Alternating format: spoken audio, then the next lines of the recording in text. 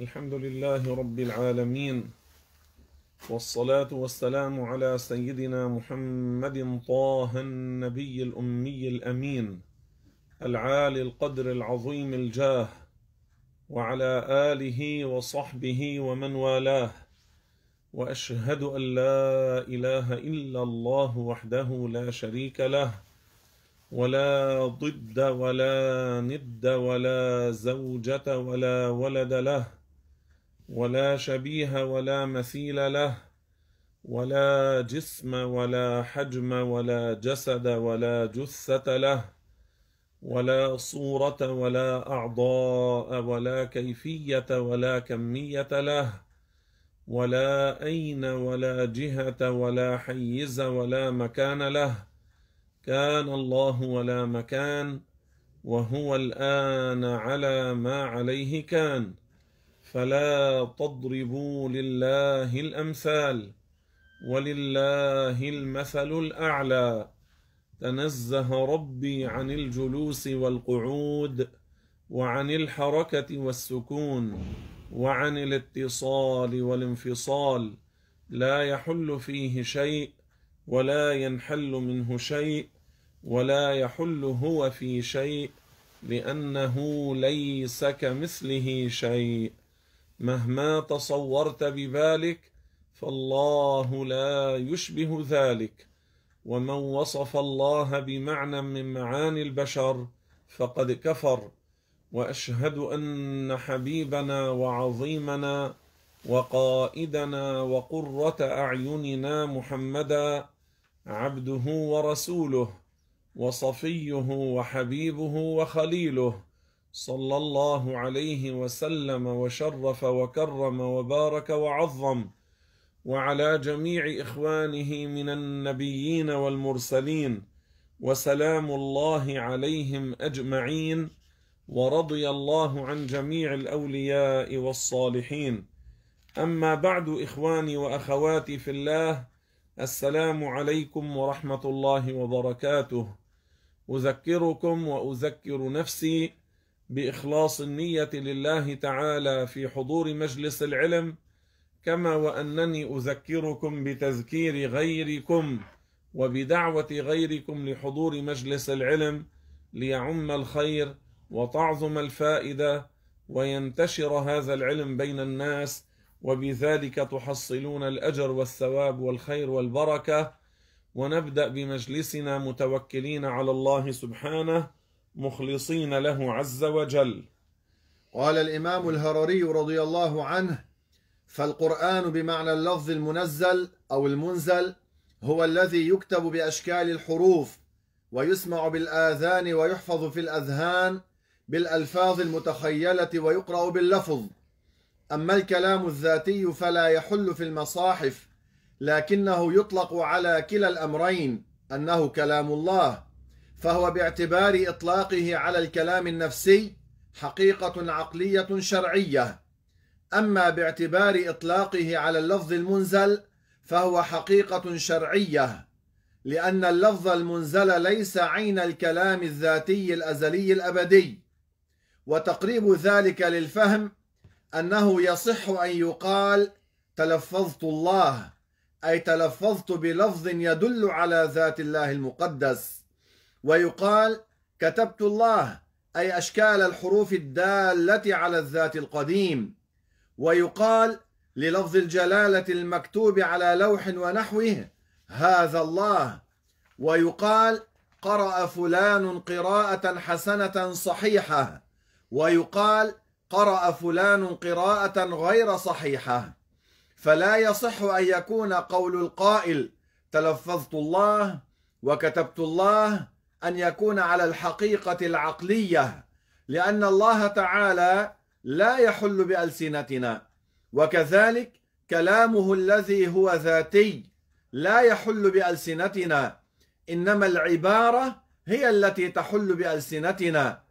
فإن قيل إذا لم يكن اللفظ المنزل عين كلام الله الذاتي فكيف كان نزوله على سيدنا محمد صلى الله عليه وسلم. قبل الإجابة على هذا السؤال الأخير الذي ورد في المتن نعلق هنا بمسألة مهمة وهي أن اللفظ المنزل يعني الذي أخذه جبريل عليه السلام من اللوح المحفوظ وقرأه على نبينا محمد صلى الله عليه وسلم بلغة العرب باللغة العربية لأنه صلى الله عليه وسلم عربي. هذا اللفظ المنزل هو المكتوب في المصاحف في الأوراق بين دفتي المصحف هو المقروء بالألسن المسموع بالآذان المحفوظ في الصدور المكتوب في اللوح المحفوظ الذي قرأه الرسول صلى الله عليه وسلم على الصحابة وهكذا. هذا اللفظ المنزل ليس هو عين الكلام الذاتي الأزلي الأبدي الذي هو صفة ثابتة لله تعالى. لأنه لو كان هو عين الكلام الذاتي لكان معنى ذلك أن المخلوق يتصرف في الخالق والعياذ بالله تعالى. وإلا كيف أخذه جبريل من اللوح المحفوظ؟ وكيف صار في اللوح المحفوظ لو كان هو الكلام الذاتي؟ ثم كيف قرأه جبريل؟ ثم كيف قرأه الرسول؟ ثم كيف قرأته الصحابة؟ هذا دليل أنه ليس هو عين الكلام الذاتي. فهذا اللفظ المنزل أو المنزل هو عبارة دليل يدل على الكلام الذاتي الذي لا يشبه كلام المخلوقين. ثم هذا اللفظ المنزل آه، يقال عنه كلام الله أو يقال عنه القرآن كما قلنا لأنه ليس من تأليف مخلوق إنما هو يدل على الكلام الذاتي.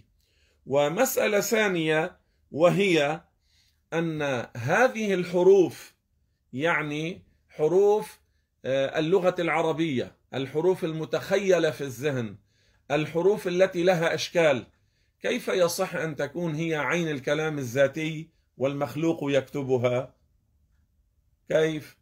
لو كانت هي الكلام الذاتي بعينه على زعم المشبهه يعني على زعمهم المخلوق أضاف صفة إلى الله تعالى؟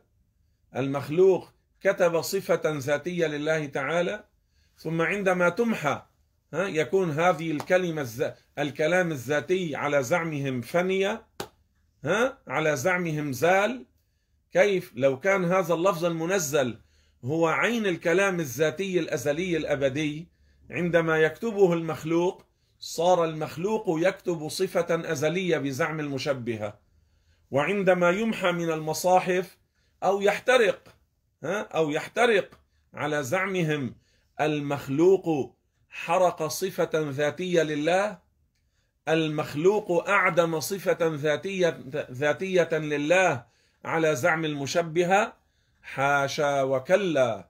هذا لا يليق ولا يصح ولا يجوز ولا يقبله مسلم ولا يقول به مؤمن ولا يقر به عقل سليم. فإذا هذا من أقوى الدليل على أن اللفظ المنزل المقروء باللغة العربية بالألسن المحفوظ في الصدور المجموع بين دفتي المصحف المحفوظ في صدور الناس ليس هو عين الكلام الذاتي الأزلي الذي هو صفة ثابتة قائمة بذات الله تعالى. فإذا الله تعالى كلامه ليس هو هذا اللفظ المنزل إنما هذا اللفظ المنزل يدل على كلام الله. وليس كما قال هؤلاء المشبهة ماذا قالوا؟ قالوا الحبشي آه، ينكر أن يكون الله تعالى متصف بالكلام وقالوا القرآن هو من كلام جبريل ومن تأليف جبريل والله لا يتصف بصفة الكلام. كذبوا وافتروا. هذا كتاب الشيخ وهذا الذي نشرحه وهذه كتب أهل السنة والجماعة. كلنا نثبت أن الله متصف بالكلام الذاتي الأزلي لكن نقول ليس ككلام المخلوقين. نقول الذي نزل به جبريل من اللوح المحفوظ هو عبارة يدل على الكلام الذاتي الأزلي. لو كان هو الصفة الذاتية كيف يتصرف فيه مخلوق؟ هذا الذي نقوله. ثم في درس الأمس أليس قلت في قوله تعالى وكلم الله موسى تكليما تكليما تأكيد على أنه كلام حقيقي. وأنه آه، كلام ثابت لله لكن لا يشبه كلام المخلوقين بلا حرف ولا صوت ولا لغة. هذا الذي نقوله. هذا الذي نقوله. نعم. فإن قيل إذا لم يكن اللفظ المنزل عين كلام الله الذاتي فكيف كان نزوله على سيدنا محمد صلى الله عليه وسلم؟ فالجواب ما قاله بعض العلماء إن جبريل عليه السلام وجده مكتوبا في اللوح المحفوظ فأنزله بأمر الله له على سيدنا محمد صلى الله عليه وسلم قراءة عليه لا مكتوبا في صحف. ويدل لذلك قوله تعالى إنه لقول رسول كريم. أي مقروء جبريل. فلو كان هذا اللفظ المنزل عين كلام الله الذاتي لم يقل الله تعالى إنه لقول رسول كريم أي جبريل لأن جبريل هو المراد بالرسول الكريم. أما المشبهة فتقول الله يتكلم بالحروف كما نحن نتكلم بالباء ثم السين ثم ما يلي ذلك من الحروف في بسم الله الرحمن الرحيم وغير ذلك من ألفاظ القرآن وفيما قالوه تشبيه لله بخلقه لأنه لو كان يتكلم بحروف تخرج من ذات الله تعالى كما تخرج من ألسنتنا لكان مثلنا ولا يجوز أن يكون مثلنا لأنه نفى عن نفسه مشابهة غيره له بقوله ليس كمثله شيء. فرضي الله عن أئمة أهل السنة حيث بينوا الصواب من الاعتقاد الذي لولا بيانهم لخفي على كثير من الخلق ولوقعوا في تجسيم الله تعالى. وهنا فائدة مهمة وهي أن جبريل عليه السلام سمع كلام الله الذاتي الذي ليس ككلام المخلوقين. وفهم من كلام الله الذاتي أن الله يأمره يأمر جبريل عليه السلام أن يأخذ القرآن من اللوح المحفوظ. جبريل عليه السلام أخذ القرآن وجده مكتوبا في اللوح المحفوظ فأخذه بأمر من الله تعالى ونزل به في ليلة القدر من اللوح المحفوظ ووضعه في مكان مشرف له خصوصية في السماء الدنيا. يقال له بيت العزة مكان له خصوصية مشرف. ومن هذا المكان صار جبريل ينزل به منجما على رسول الله صلى الله عليه وسلم. شو يعني منجما؟ ما معنى منجما؟ يعني مفرقا.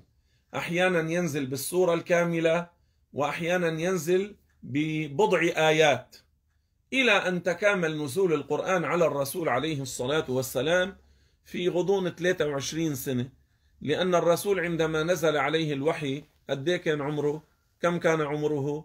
أربعين سنة. هذا القول المعتمد هذا القول الصحيح. هلا بعضهم بيقول أربعين شهر أربعين يوم أربعين كذا هذه أقوال ليست معتمدة. القول المعتمد الصحيح أنه أربعين سنة. صلى الله عليه وسلم. وكان الرسول حبب إليه الخلوة في غار حراء. كان حبب إليه الخلوة في غار حراء. ومعنى حبب إليه الخلوة يعني كان يقعد هناك يتفكر في مخلوقات الله. لأن التفكر في مخلوقات الله تقوي يقين المؤمن وترقق القلب. التفكر في مخلوقات الله لو أن إنسانا قعد مثلا في الجبل أو في البحر عند البحر على الشاطئ أو ليس شرطا يعني هنا وهناك لو نظر من شرفة بيته أو من سطح البناء إلى السماوات والبحر والجبال والأشجار والأنهار صار يتفكر في مخلوقات الله بنية حسنة هذا ينتفع انتفاعا عظيما. وهذا تعظيم يعني يستحضر في قلبه أنه يعظم الله سبحانه وتعالى له ثواب على ذلك. وهذا يرقق القلب. الرسول عليه الصلاة والسلام قبل أن ينزل عليه الوحي كان مؤمنا كان مسلما مؤمنا مسلما. ليس كما قال هؤلاء الفسق الفجره الذين حذرنا منهم آه، أمس في خطبة الجمعة وحذرنا منهم هنا في الدرس هذا البرنامج اللي عملوه بتونس. نزل واحد مذيع صار يعمل مقابلات مع الناس ويقول لهم الرسول ماذا كان يعبد قبل الإسلام؟ قبل أن يعبد الله؟ قبل أن ينزل عليه القرآن؟ هذا يقول كان يعبد الأصنام وهذا يقول كان مشركا حاشا وهذا يقول كان على دين قومه. أعوذ بالله العظيم من مسخ القلوب. الأنبياء من طفولتهم يكونون على الإسلام. من طفولتهم يكونون على الإيمان إلى أن يموتوا.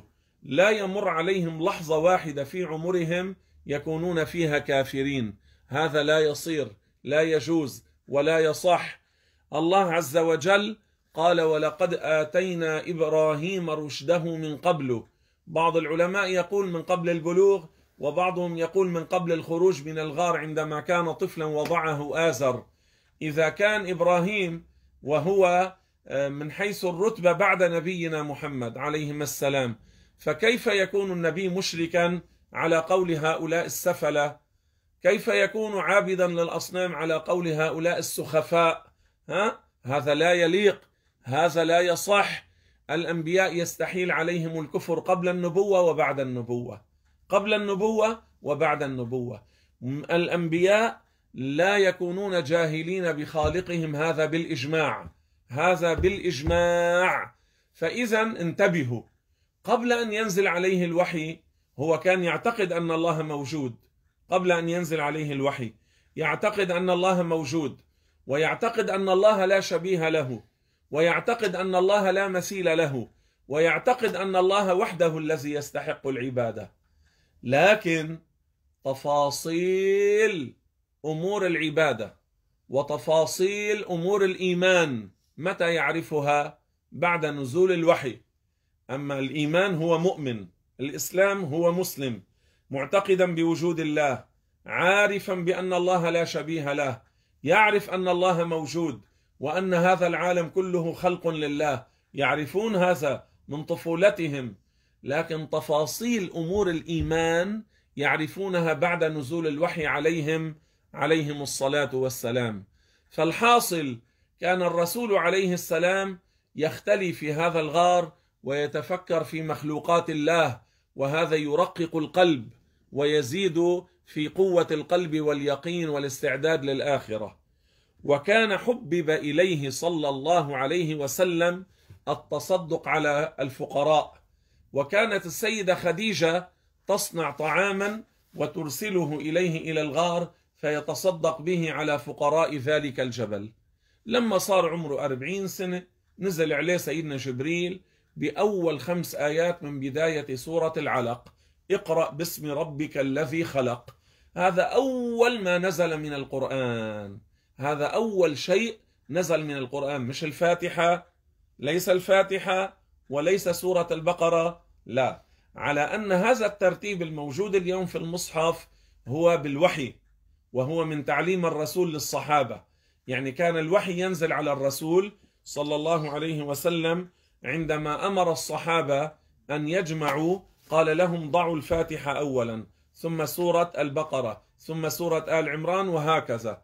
من الفاتحة إلى الناس هذا ليس فوضى ليس من تلقاء أنفسهم إنما هذا بالوحي بتعليم الرسول صلى الله عليه وسلم لصحابته.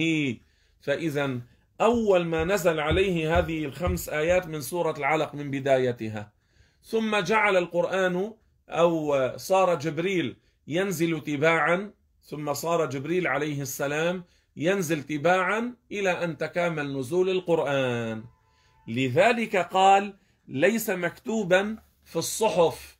لماذا؟ هذا فيه حكمة عظيمة. الرسول صلى الله عليه وسلم أولا لا يكتب ولا يقرأ المكتوب.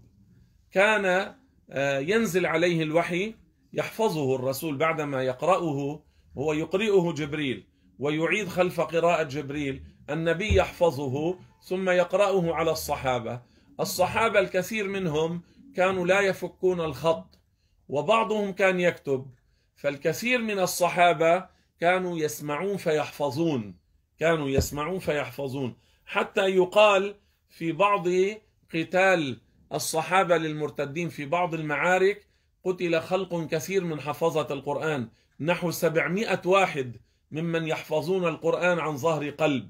ممن يحفظون القرآن عن ظهر قلب.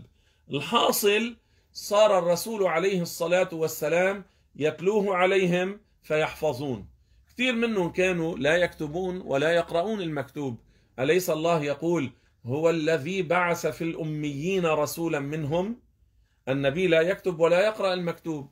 وأمية النبي دليل نبوته. وأمية النبي مدح له. لماذا؟ لأنه مع أميته صلى الله عليه وسلم أعطي وأوتي وحصل على علم الأولين والآخرين مع أميته. هذا دليل على نبوته. مع أنه لا يكتب ولا يقرأ المكتوب. والله تعالى يقول وما كنت تتلو من قبله من كتاب ولا تخطه بيمينك. هلا بعض الناس شو بيقولوا؟ بعض الناس ماذا يقولون؟ إيه هو في الأول كان لا يكتب ولا يقرأ لكن ما مات حتى علمه الله الكتابة والقراءة. هذا غير صحيح. هذا غير صحيح. أصلا لو كان كما يزعمون فأين ما يثبت من دليل قرآني أو حديثي أو قول صحابي واحد؟ بالتواتر. لا يوجد. لا يوجد. أليس الله يقول هو الذي بعث في الأميين رسولا منهم؟ أليس قال وما كنت تتلو من قبله من كتاب ولا تخطه بيمينك؟ ثم في الصلح أليس آه، طلب الكفار من النبي أن يمحو اسمه؟ من الاتفاق الذي كان بينهم وكان علي قد كتب هذا ما صلح عليه محمد رسول رسول الله. قالوا لو كنا نعرف أنك رسول الله ما آه، قاتلناك ما فعلنا كذا. فقال لا قالوا لا نقبل حتى تمحوه. فقال النبي لعلي امحوه. قال أنا لا أمحوه.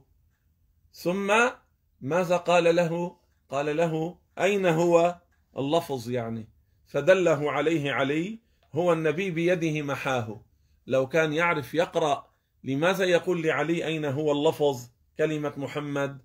هل كان يعبث هل كان يلعب؟ هذا لا يليق. هذا لا يصح لأنه ما كان يكتب المكتوب ولا يقرأه. ولا يقرأه. فإذا أمية النبي دليل نبوته. لأنه مع أميته جمع علم الأولين والآخرين. ثم تعالوا لو كان كما يزعم هؤلاء إنه قبل أن يموت صار كاتبا قارئا للكتاب. لماذا ثبت في صحيح البخاري أنه صلى الله عليه وسلم آه، في مرضه الذي مات فيه طلب لوحا وقلما وأراد منهم أن يكتبوا؟ ما قال أنا أكتب؟ قال ها? إنه يريد أن يملي عليهم. لو كان هو يكتب ويقرأ كان هو كتب بيده وترك لهم كتابا ليكون آه، فاصلا وفيصلا ودستورا للأمة. لكن اشتد مرضه وكثر اللغط. فقال قوموا عني. وهذا معناه أنه لم يكن لأمر ضروري لأنه لو كان لأمر ضروري ما كان يتركه النبي. ثم بعض الدجالين الكذابين الشياطين هنا في هذا الحديث يكذبون على عمر. يقولون عمر قال إنا لا نأخذ بقول النبي وقال النبي والعياذ بالله هذا وكذبوا وافتروا. إن عمر ما قال لا نأخذ بقول النبي قال كتاب الله حسبنا. لماذا؟ لأنه فهم أن النبي لا يريد شيئا ضروريا ولا شيئا مهما لأنه صار لغط والنبي اشتد عليه الألم فعمر بن الخطاب آه، قال لهم اسكتوا وقوموا لأجل أن يريح النبي. أما لو كان كما يزعم بعض الشياطين أنه ليكتب أمرا ضروريا وعمر منعه تعرفون ما معنى هذا الكلام؟ معنى هذا الكلام أن النبي يخاف من عمر وهذا لا يليق. لا عمر ولا مليون واحد مثل عمر بفزع النبي محمد صلى الله عليه وسلم فيثنونه عن أمر مهم وعظيم وواجب. لو كان مليار واحد مثل عمر ما بيمنع النبي من الواجب. فلو كان الذي يريد أن يكتبوه شيئا ضروريا واجبا ما كان يتركه النبي صلى الله عليه وسلم بل كان أصر عليه. إنما كان أراد أن يكتب لهم شيئا من الفوائد الغير ضرورية. الغير ضرورية ليست من الواجبات وليس خلافة لعلي كما قال البعض وإلا كيف تركه النبي؟ أيخاف من عمر؟ حاشا. ثم لو قال عمر النبي هذا أو هجر على زعمهم هل كان الصحابة يسكتون له؟ أم النبي كان يسكت له؟ كان حذر منه قبل أن يموت. لكن ما الذي قاله عمر؟ بصيغة الاستنكار. أهجر معناه النبي في وعيه النبي ما لا يصيبه أن يتكلم بكلام الذي ضاع عقله هذا لا يصير. عمر كان ينكر يعني النبي لو أراد لقال لكتب يعني أمر بالكتابة. فإذا ماذا قال لهم؟ عمر كان مستنكرا. أهجر يعني النبي ما هجر. هذا الذي حصل. ثم الذين يصرون على التحريف وعلى الكذب وعلى الدجل وعلى التغيير وعلى الطعن في عمر من هذا الحديث. نقول لهم تعالوا هذا الحديث نفسه من طريق آخر وعند مسلم إن كان هذا في البخاري من طريق آخر أنه طلب الكتف والقلم ليكتب ما ورد في رواية أخرى لأجل أن لا يتمنى متمن. ثم ماذا قال؟ قال ويأبى الله والمؤمنون إلا أبا بكر. تعالوا هذا يفرحكم؟ هذه الرواية هي مكملة لتلك الرواية في نفس الحادثة. فإن قلتم إن عمر منع الكتابة فينبغي أن تقبلوا نعليه على زعمكم. لأنه منع أن تكون الوصية لخلافة أبي بكر. ماذا ستقولون؟ ماذا ستفعلون؟ ثم لو كان كما تزعمون لأصر النبي على ما يريد. لكن حاشا لعمر أن يقول ذلك وحاشا لرسول الله أن يكون جبانا وحاشا للصحابة أن يسكتوا لعمر لو طعن في كلام الرسول أو قال لا نأخذ بقول الرسول وحاشاه بل عمر معروف من هو عمر مع النبي ومع السنة ومع قول النبي وفي حماية قول النبي والدفاع عن النبي وعن دين النبي. عمر لا يحتاج لشهادة من هؤلاء الأغمار الجهلاء. عمر مرة اسمعوا هذه الحادثة لتعرفوا من هو عمر. عمر رضي الله عنه وأرضاه مرة جاء إليه أحد المنافقين. قال له يا عمر أريدك أن تحكم لي في هذه القضية مع فلان. قال له اذهب إلى النبي هو يحكم بينكم. قال أنا ذهبت إلى النبي لكن أريدك أنت أن تحكم لي. هذا المحتال المنافق ظن في نفسه أنه يستميل عمر ويحكم عمر بغير حكم النبي وحاشا. ماذا قال له عمر؟ انتظر. دخل عمر إلى بيته جاء بالسيف ثم ضرب عنق هذا المنافق وقال هذا حكمي في من لم يرضى بحكم رسول الله. هذا عمر رضي الله عنه.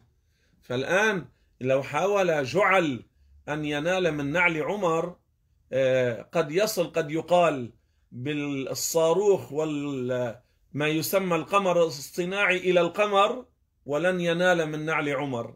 فالحاصل عمر رضي الله عنه وأرضاه ما تكلم ما فيه طعن برسول الله حاشا ولا بسنة رسول الله حاشا. فإذا موضع الاستشهاد بكل هذه الحادثة أن النبي هو ما كان يكتب حتى عند وفاته. ما كان يكتب آه، بعث وهو لا يكتب ولا يقرأ المكتوب ومات كذلك. هذا هو الصحيح وهذا هو الصواب وهذا هو المعتمد. إذا كانت الحكمة أن ينزل القرآن منجما ولم ينزل مجموعا بين دفتي المصحف على الرسول لأن الرسول صلى الله عليه وسلم أصلا هو ما كان يكتب ويقرأ المكتوب وكثير من الصحابة كانوا لا يكتبون ولا يقرؤون فكانت حكمة عظيمة. النبي يقرأ فهم يحفظون يقرأ فهم يحفظون يقرأ فهم يحفظون فلما تكامل نزول القرآن كان حفظه الكثير من صحابة رسول الله صلى الله عليه وسلم. لأجل هذا ما نزل في الصحف أو مجموعا بين دفتي المصحف إنما نزل مفرقا على رسول الله صلى الله عليه وسلم وجعل جبريل يقرأه على الرسول والرسول يقرأه على الصحابة. وفي هذه الآية الكريمة في قول الله تعالى إنه لقول رسول كريم. إنه أي القرآن وهذا بالإجماع. إنه أي القرآن. لقول يعني مقروء. لقول يعني مقروء.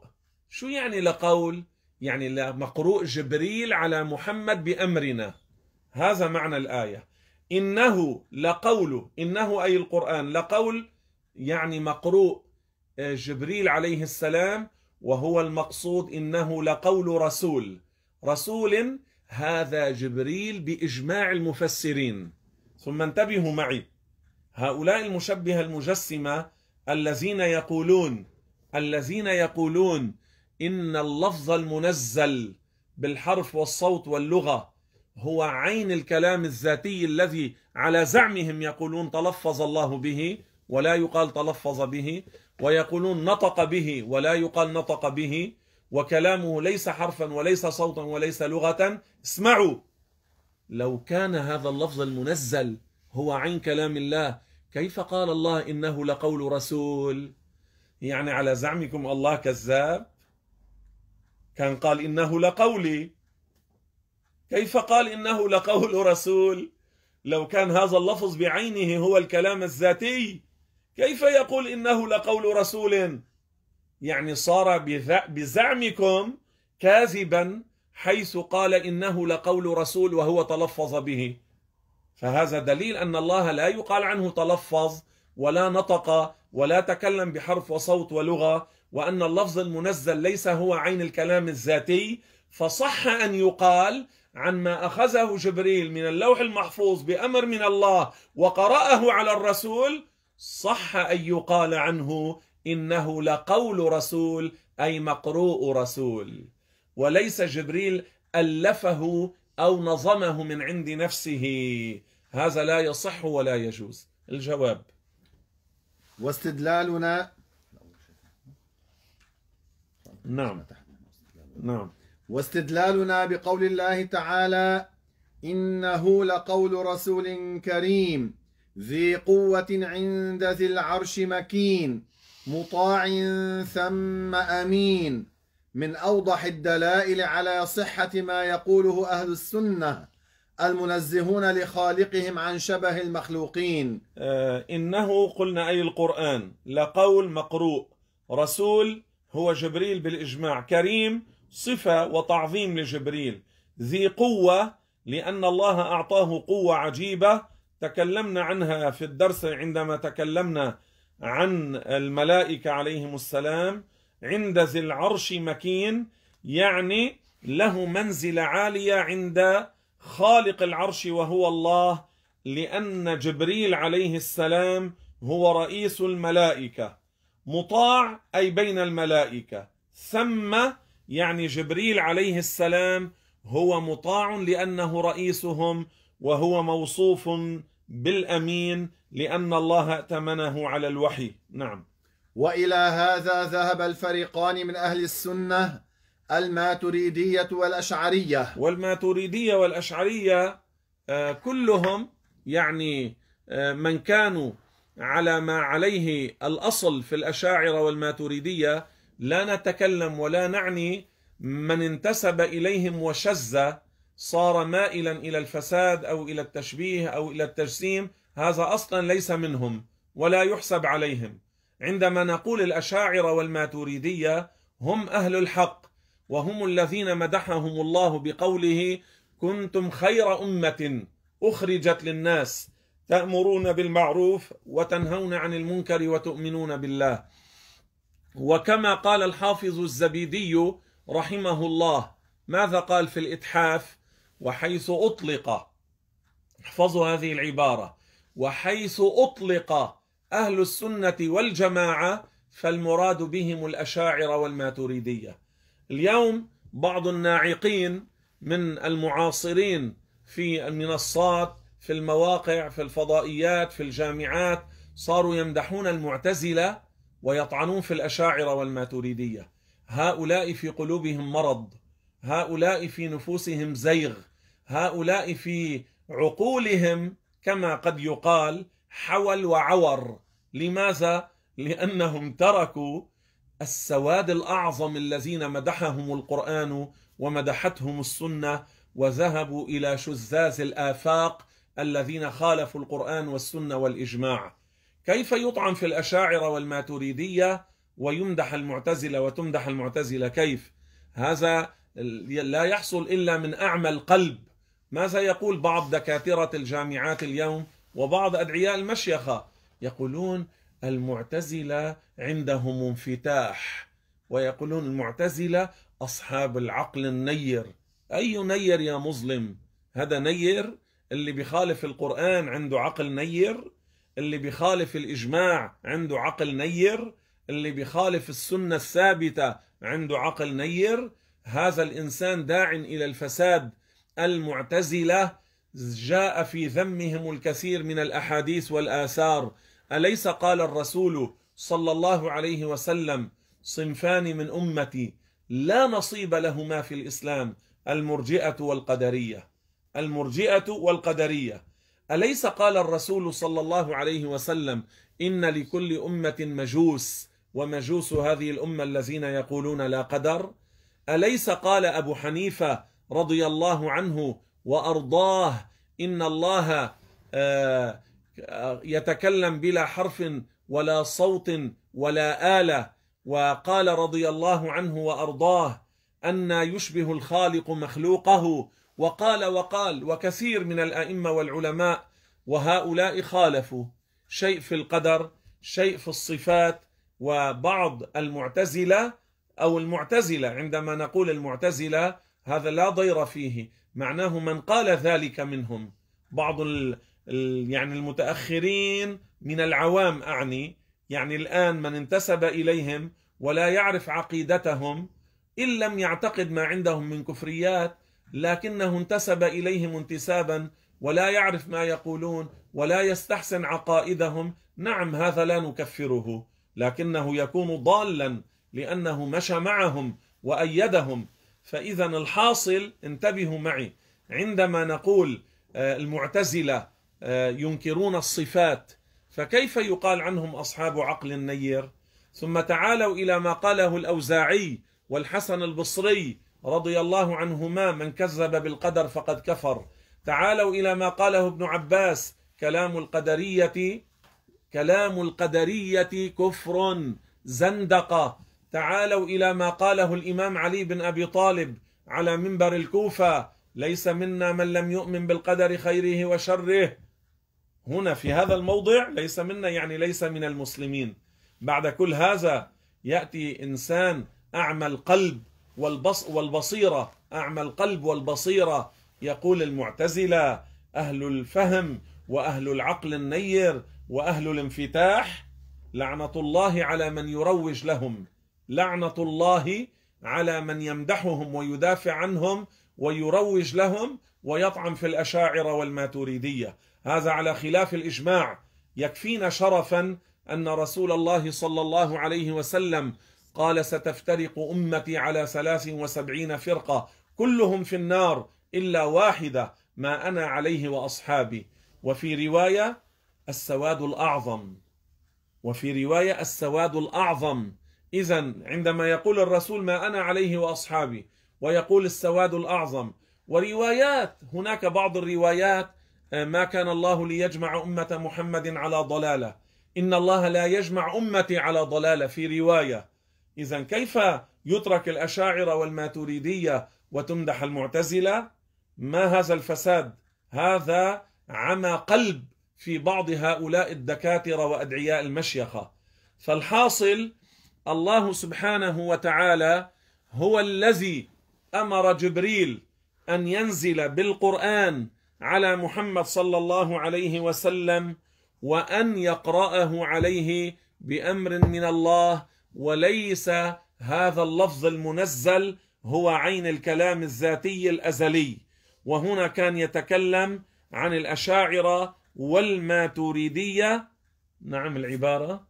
وإلى هذا ذهب الفريقان من أهل السنة الماتريدية والأشعرية. فقول من قال من أهل السنة القرآن كلام الله تعالى بالحقيقة ينزل على التبصير الذي قربوه. إذا كما بينا وكما شرحنا عندما نقول القرآن كلام الله إذا كان المراد به الكلام الذاتي الأزلي فهذا لا إشكال فيه. وإذا كان الكلام عن كلمة القرآن كلام الله يعني اللفظ المنزل يعني يدل على الكلام الذاتي الأزلي. لكن لا يوجد أحد من أهل السنة والجماعة يقول القرآن بمعنى اللفظ المنزل بالحرف والصوت واللغة هو عين الكلام الذاتي الأزلي. هذا لا يقوله أحد من أهل السنة والجماعة. لماذا؟ اسمعوا ما سأقرأه لكم وهو بالإجماع. هذا الإمام العلامة الفقيه المتكلم أبو بكر محمد بن سابق الصقلي المتوفى 493 للهجرة. 493 للهجرة. ماذا يقول في كتابه آه، المسمى الحدود الكلامية والفقهية على رأي أهل السنة الأشعرية؟ ومعه مسألة الشارع في القرآن. اسمعوا ماذا يقول في صحيفة 213 فالذي أجمع عليه انتبهوا لأول عبارة. فالذي أجمع عليه أهل السنة والجماعة أن كلام الله تعالى صفة من صفات ذاته قديم أزلي وأنه شيء واحد. رأيتم قال بالإجماع. هذا رد على الذين يقولون يتجزأ يتعدد ويقولون اللفظ المنزل بالحرف والصوت واللغة هو الكلام الذاتي. قلنا أمس لو كان هو الكلام الذاتي كيف أخذه جبريل ونزل به على الأنبياء؟ ثم صار غيره ثم صار غيره. يعني على زعمكم الصفة الذاتية تتعدد؟ هذا لا يقول به مسلم ولا عاقل. هنا ماذا قال؟ واحد بالإجماع. وقرأت لكم أمس أيضا هنا في صحيفة 82 قال مسألة وكلام الله واحد بالإجماع. قال وكلام الله واحد بالإجماع. هذا السكوني الإشبيلي الأندلسي. الآن اسمعوا ماذا يقول. يقول وأنه شيء واحد لا يتجزأ ولا ينقسم ولا يتبعض ولا هو لغة من اللغات ولا هو حروف وأصوات لم يزل الله تعالى متكلما به ولا يزال غير مشابه لما عقلناه من الكلام وأن المتكلم به تعالى يعني الكلام الأزلي الله متكلم به يقول بلا لسان ولا لهوات ولا آلات ولا حركات ولا نغمات ولا حلق ولا صدر ولا شفة ولا خياشيم ولا جارحة ليس كمثله شيء وهو السميع البصير.